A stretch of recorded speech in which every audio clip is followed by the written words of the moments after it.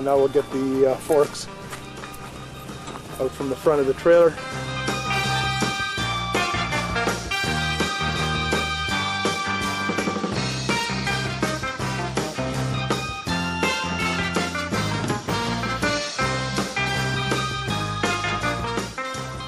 To complete this, put a bumper pad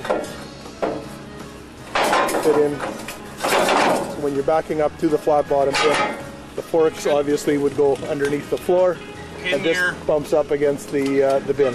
pin your bumpers down because if you don't and that bin is not perfectly centered, it will roll and actually lift. Slide out. Yeah. It's important to include the pinning uh, to keep everything tight.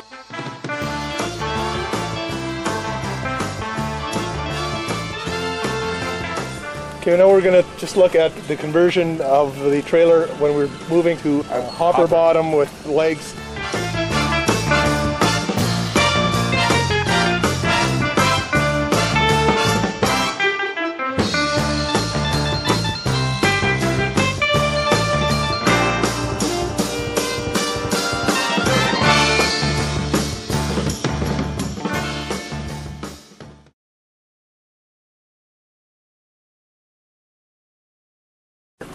We don't have a flat bottom bin here, uh, but Brad is just going to explain to us uh, how you would approach up to a flat bottom bin and, uh, and set up.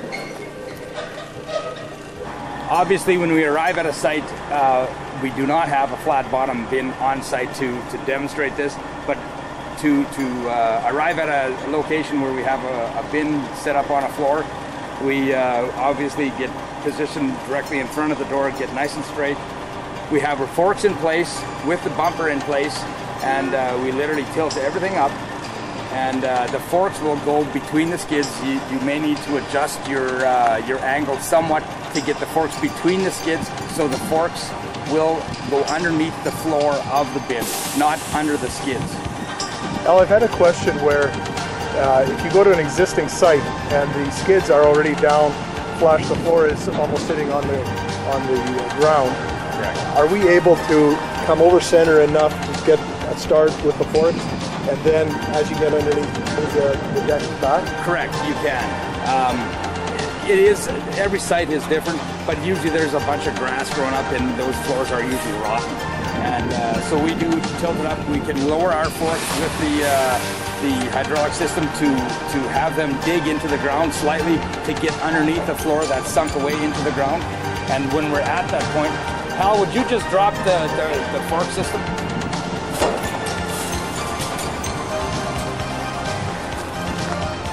And then at this point, we would uh, monitor to see what kind of dirt we're on. Not that if we back up the uh, three feet to back under the bin, that our, our tires are going to come up and we would puncture the bin with the forks, you know.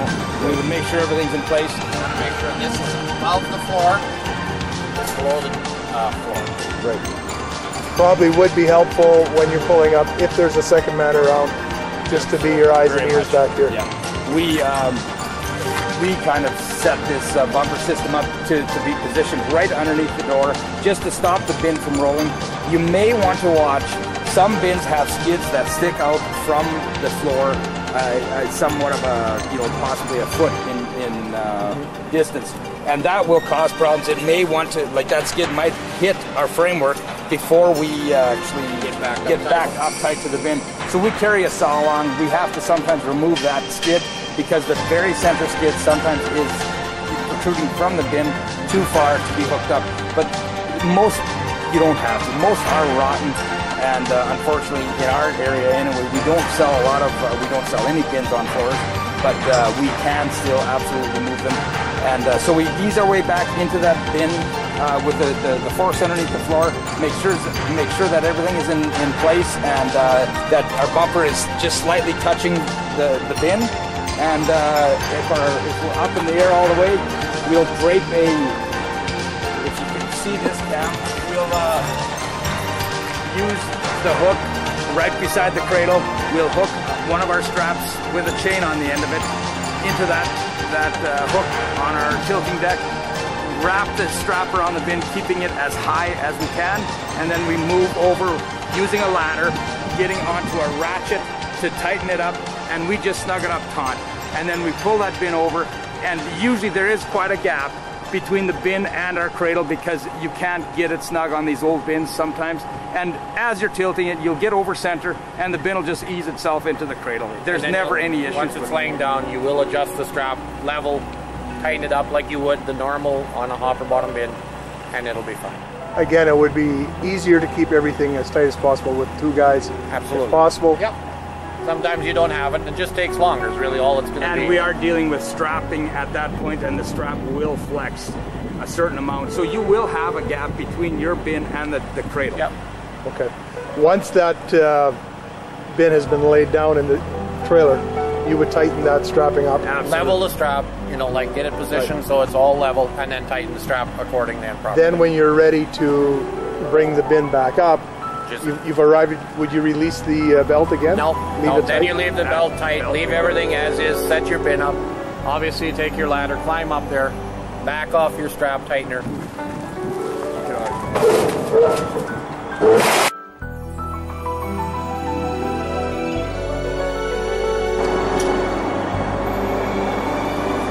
Obviously, the most important thing with hooking up to a, uh, a- bin is to getting in position with the truck square to your bin as best as you possibly can. Now raise it up, pal. With practice, obviously, you can get adjusted properly or within reason. We stay a, a little bit away from the bin to uh, to give ourselves some breathing room to, to make sure that we're positioned properly as we're going up, we have to be careful that uh, obviously overhead lines and whatever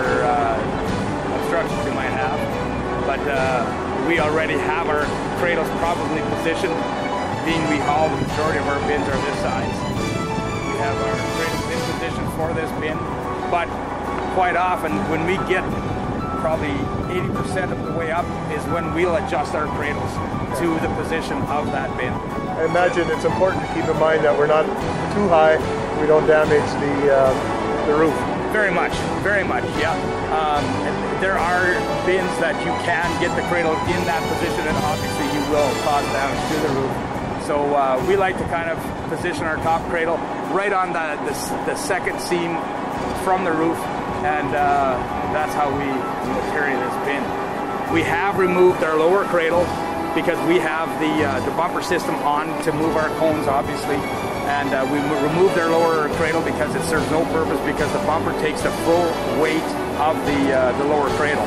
So uh, we have it in position, and now we'll put our chains in place. Sing to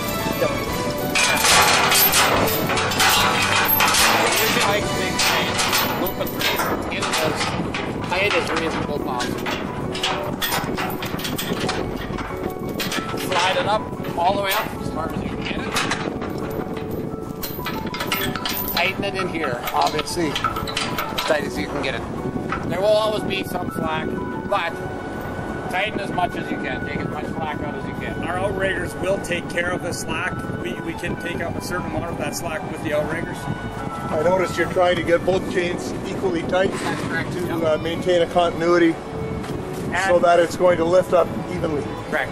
And if the if it does if we cannot get an even pull on the bin down, then we'll simply set the bin back down, readjust the chains so they are taut. Because sometimes as you lift your outriggers up, your bin may adjust itself because maybe there's pressure on one side or the other.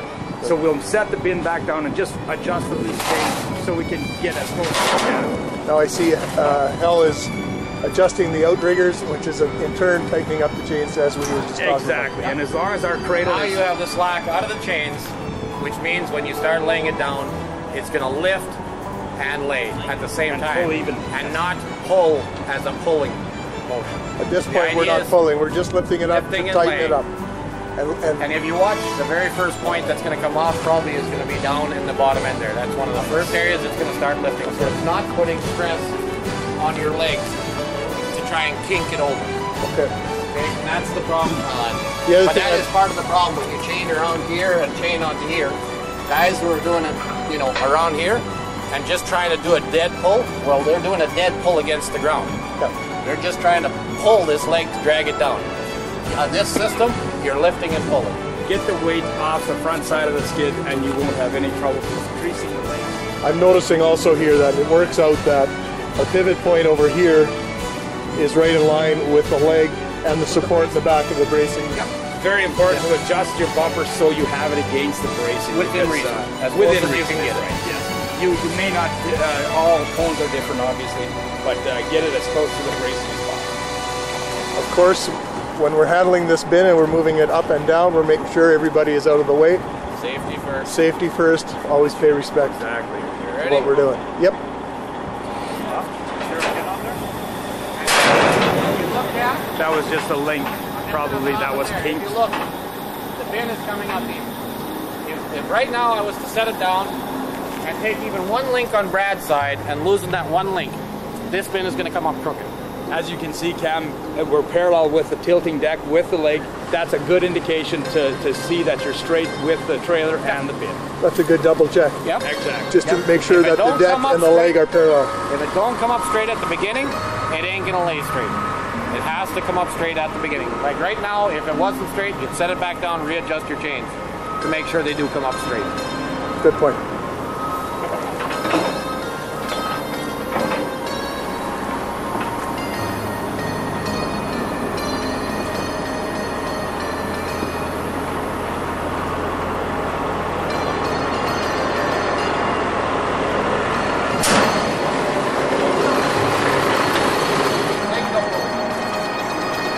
At this point, we're uh, we're just keeping an eye on everything. Correct. Yep. we want to make sure there's nothing, uh, uh, nothing going to cause any problems. I mean, our chains are both taut, so we want to keep that in place. It's going to rest in the cradles here very shortly as it gets over its center point. Yep. And uh, yeah, Reynolds we- are the the tarps are laying smooth. exactly Everything's aligned. correct.